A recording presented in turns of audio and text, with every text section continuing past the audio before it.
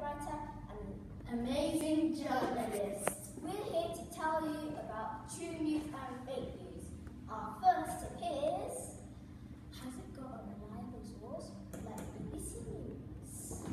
Your next tip is It needs a believable number of quotes. And your last tip, spot true news,